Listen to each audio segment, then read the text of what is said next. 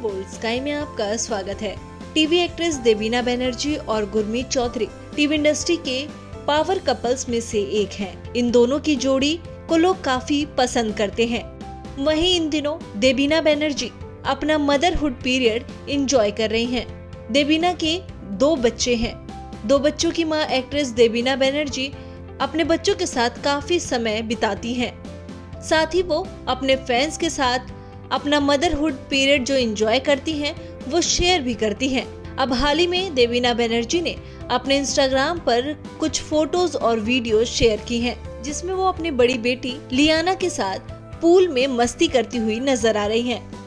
बता दें, देवीना बनर्जी ने ब्लू कलर की मनोकनी पहनी है, साथ ही उन्होंने अपने बेटी लियाना को गोदी में लिया है।